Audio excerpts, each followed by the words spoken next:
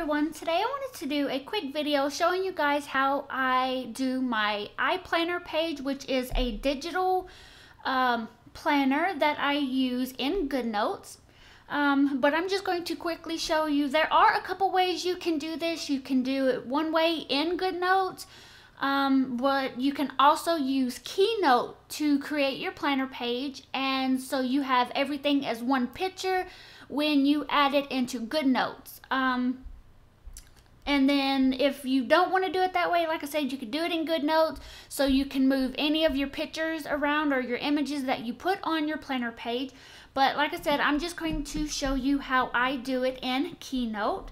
So I'm going to open up Keynote and as you can see, I have um, a, um, I don't know what they would call it, but a slideshow of the images that I'm going to use and these are from Etsy I think so what I'm going to do is I already imported my planner page that I'm using and the background I created all of that already in Procreate and I will have a video showing you guys how to put a image on your planner page and have it as one image instead of two separate images in Procreate.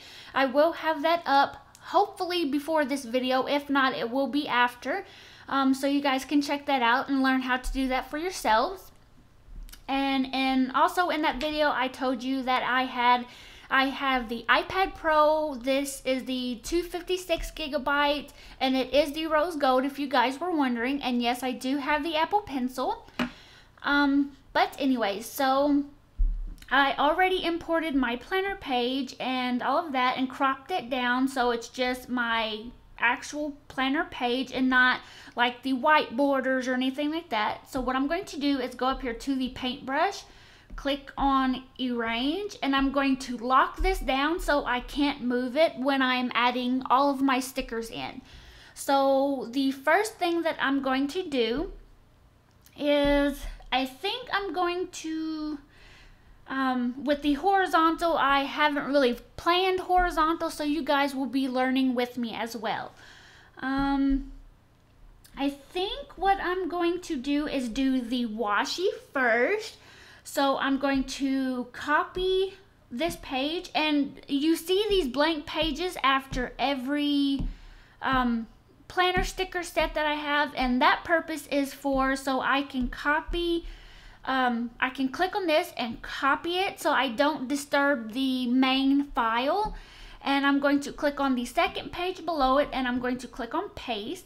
So now what I can do is um, oh let's click on I need to work with the bottom washi. So I'm just going to copy and paste. So now what I can do is double tap on the image and I can resize this box to fit just the washi tape. And you can also, before that, so let's say, let's just un undo this. You can make your page like really, really big just so you can work with it a little better. Um, and I'm going to zoom out a little and now double tap and now I can resize it and zoom back in if I want to just so I know exactly where I'm at and what I'm doing. Um, let's move my page up a little. I have to zoom back out just a little. Now zoom back in. I mean, you do not have to do this if it is too much for you to remember. Um, but I just like doing it just so I can see better and exactly where my lines are going to be and all of that. So there is that. And then there you go. There is your washi. Um, so I'm going to zoom back out a little. And what I'm going to do is copy this.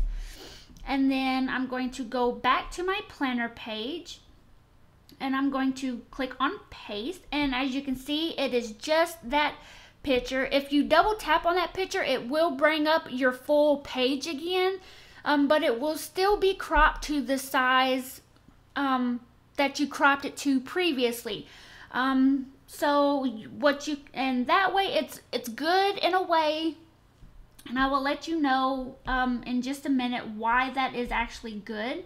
So what I'm going to do is just crop it down to um, whatever size I need it or size it down. And like I said, with uh, this, it will keep the ratio aspect of it. Um, so let's just say I want it like that. So what I'm going to do is with this is copy and you have to click on a the white space on the outer part for you to paste it again. And I'm just going to paste it back in like that. And so say you have a different style planner or the, say you have the vertical one.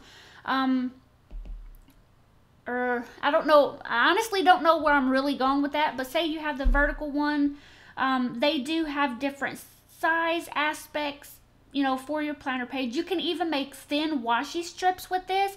Um, all you have to do is just double tap on it again so you get, you know, your box pulled back up and you can resize it down to the size that you need it and then click done. So there's you a smaller washi strip that you can paste over your like as a header or anything like that.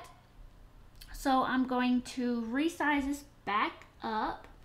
Um, and you do not have to add, the, you know, add this at the top. You can just add these as washi strips or as like a filler, you know, for something. So let's just, let's see.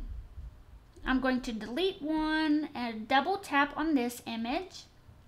Like I said, this is new to me too, so you guys are learning with me um, because I have not planned horizontal style uh, planning. So this is also new to me, so you're learning with me. Um, and I'm just trying to get this exactly how I want it. You can also resize it a little bit so it fits a little better in your box. So let's say right, let's say right there. And I can copy this and then, like I said, you do have to click on a a white space for this to actually paste because you did lock your image but if you didn't lock your image, I'm sure you could paste it that way as well. But I didn't want my planner page to actually move. So I'm just going to leave it, you know, like this. Um, and you do not have to do this for the full, um, full, um, header, whatever these little black things are, whatever you want to call them. Um, you can leave them black if you want and I mean just play around with it and see how you like it but like I said I have not planned this way at all so um, let's see if I can maybe get all these copied at once and how you can copy multiple things is you click on one image and you hold keep your finger on that you like hold your finger on that image and then you take your other hand and you tap on each image that you want to select and then let off with your first finger if that makes sense at all um, and then you can click copy and then click paste and it will paste all four of the or all the images that you have selected and it will paste or, and it will paste all four of them. So there's that. Now what I'm going to do is let's see if there's anything else that I want to use from here right now. And I don't see anything else I want to use at the moment. So I'm just going to click off that one. Um, so I'm going to go ahead and do my to-do, or yeah, my to-do headers. So what I'm going to do is copy that one and paste it into my second one. And this is probably going to be quite a long video, so just bear with me. So I'm going to crop this or this one down. Get these little lines. Okay. Now as you can see, I am cropping my to-do header well, if I can stop moving the picture and just the little blue dots, there we go. And I am using my Apple Pencil for this, just to make it easier. So now that I have my to-do header cropped, I'm going to click on it. Sometimes you do have to zoom back in to click on it because they are so small. And or you can zoom uh, once you get it cropped you can zoom it wider. Um, and that will also make your page wider if you double tap back on your header. It will also make your page wider so just be aware of that. Um, and then I'm going to click back on my planner page and click paste and now I can resize this to whatever size that I want it. If I want it to be a little bigger, I can make it a little bigger. If I wanted it smaller, I can make it smaller. It's just whatever your preference is, you know, just do it that way. So now let me go ahead and get my little uh, check boxes, if I can find them. Um, there we go. So I'm just going to take my to-do header again, double tap, and go to the um, check boxes. And now all I have to do is just resize it to whatever whatever check boxes that you are doing. I'm going to copy and I'm going to paste. And as you can see, that is really, really big. Um, so just resize it down to fit in your planner page.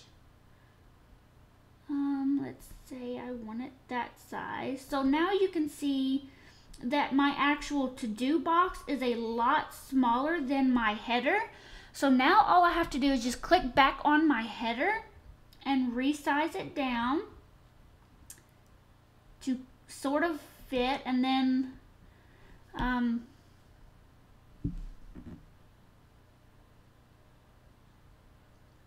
let's see, do it this way. And then move my, whoops, move my header down some. And this is not going to be perfect whatsoever um, because it is kind of hard to get the right um, the right aspect of it or the ratio of it. Um, so it is a little hard to do it this way. Like I said in a previous video, I don't know if, I can't remember if I said it in this one or not. Um, if you have your, if you have a Mac or even um, a PC, if you get the Silhouette Studio software, what you can do is resize your pictures um, horizontally or vertically. Um, so that way it will fit perfectly in your planner.